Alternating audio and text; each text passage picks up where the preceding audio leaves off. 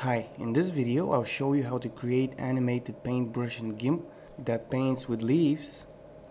And of course you can follow the steps from this tutorial to create other brushes with other images. It doesn't have to be leaves.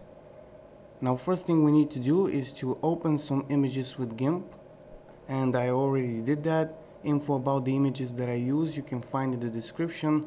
You can open images in GIMP by going to the file menu open as layers or you can just drag and drop images in GIMP Next we need to make sure that the images don't go outside the canvas. So let's go to the image menu and select fit canvas to layers. Then I'm going to zoom out a little bit, scroll down and shift click here to make only the first image visible. Then click on it to make it active. Then right click and select add alpha channel. Next go to the layers menu and select layer to image size. Next I'll grab the fuzzy select tool and click on the white area. I want to remove the background and isolate the leaf. Then go to the select menu and select grow. And I'll use just one pixel. Click OK. Again go to the select menu and select feather. Just two pixels.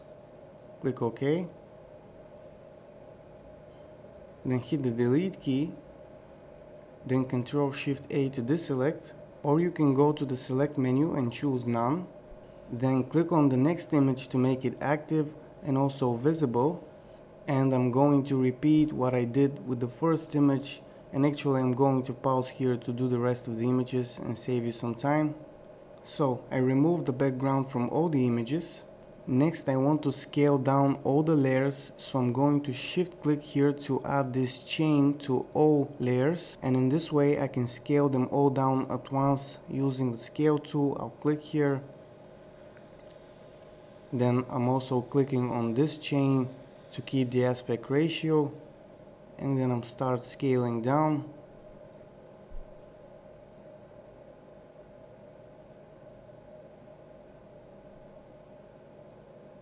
let's say something like this and then hit the scale button.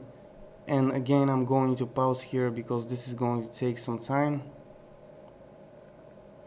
So all the images are scaled now and uh, I'll go to image fit canvas to layers.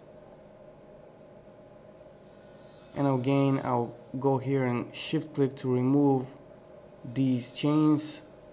And the next thing I want to do is to add a shadow to each leaf I'll start with the first one. So let's go to filters, lights and shadow, drop shadow.